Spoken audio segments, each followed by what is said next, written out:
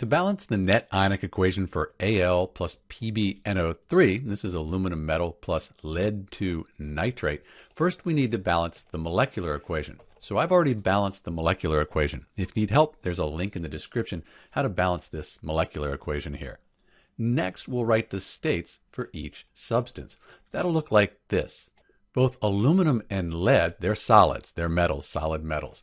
Then for the nitrates, if you know your solubility rules, these nitrates are very soluble, so we're going to have AQ after those.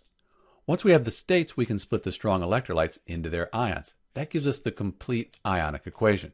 That looks like this. So this is the complete ionic equation. Now we can cross out spectator ions. They're on both sides of the complete ionic equation.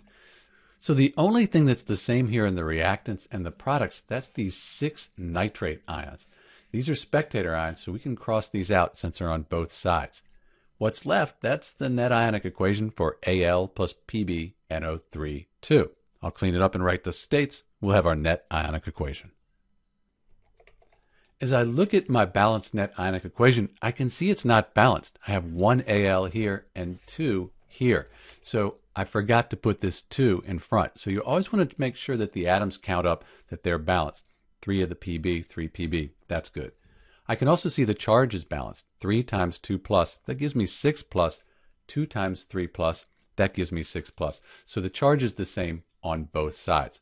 So this is the balanced net ionic equation for aluminum plus lead 2 nitrate. This is Dr. B, and thanks for watching.